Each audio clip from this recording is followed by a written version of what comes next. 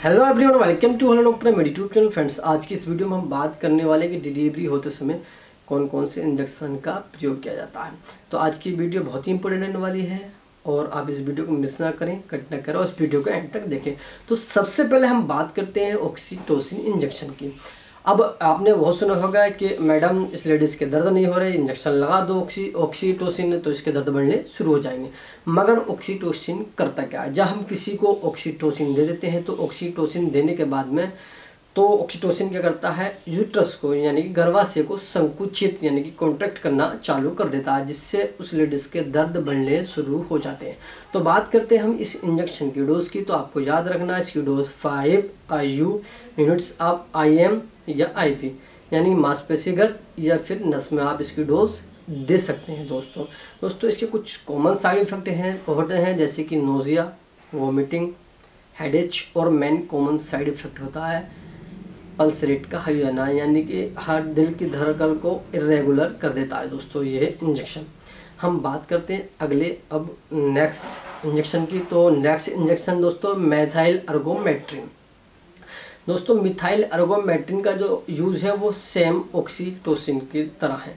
मगर methyl ergometrine जब किसी लेडीज़ के बच्चा पैदा हो जाता है तो उसके बाद जब ब्लीडिंग शुरू हो जाती है तो उसको रोकने के लिए हम मिथाइल अर्गोमेट्रिन का भी प्रयोग कर सकते हैं दोस्तों। तो बात करते हैं इसकी डोज की। तो दोस्तों, इसकी डोज देनी होती है वो zero point two M G, आपको आई एम इसकी डोज देनी होती है और ज़रूरत पड़ने पर आप दो या चार घंटे के बाद भी दे सकते हैं। तो मगर इसके कॉमन साइड इफ़ेक्ट जो होते हैं दोस्तों, वो सेम ऑक्सीटोसिन के तरह होते हैं। तो दोस्तों, बात करते हैं नेक्स्ट इंजेक्शन की। तो आपने नाम सुना होगा एपिडोसिन जिसका साल्ट होता है वेलेथमेथ ब्रोमाइड तो दोस्तों, आपने ये भी सुना होगा कि इस लेडीज़ के जो है वो रास्ता कम है, यानी कि यूट्रस का सर्विक्स जो है वो कम है।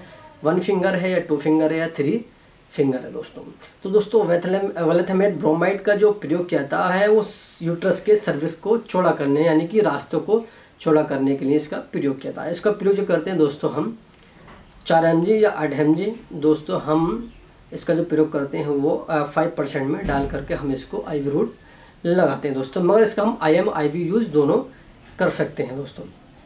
हम बात करते हैं अब नेक्स्ट इंजेक्शन का, जिसका नाम होता है रिटोडाइन हाइड्रोक्लाइड। यानी कि रिटोडाइन हाइड्रोक्लाइड अब का प्रयोग कहाँ किया जाता है जैसे कि आपने देखा हो, काफ़ी पेशेंटों में जब लेडीज़ का समय पूरा नहीं होता है, यानी कि उसको सात महीने होते हैं या आठ महीने होते हैं, उसको दर्द होने शुरू हो जाते हैं।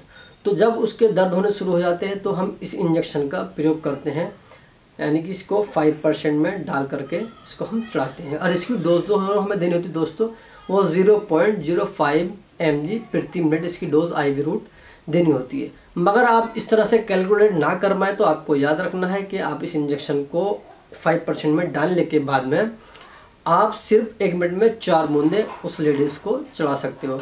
और जब तक आपको इस इंजेक्शन को बोतल को चढ़ाना है, जब तक कि उसका दर्द बंद ना हो जाए। पाँचवें इंजेक्शन दोस्तों आपने सुना ही होगा। डोटाकाइंड नाम से मार्केट में आता है, जिसका नाम डोटाफेरिन ड्रोटावेरिन भी बिल्कुल सेम इसी के तरह इसका यूज़ होता है ऑक्सीटोसिन के तरह। दोस्तों, आज के लिए इतना ही काफ़ी है। अगर आपको वीडियो पसंद आई है तो लाइक कीजिएगा। अगर नहीं पसंद आई तो डिसलाइक ज़रूर कीजिएगा।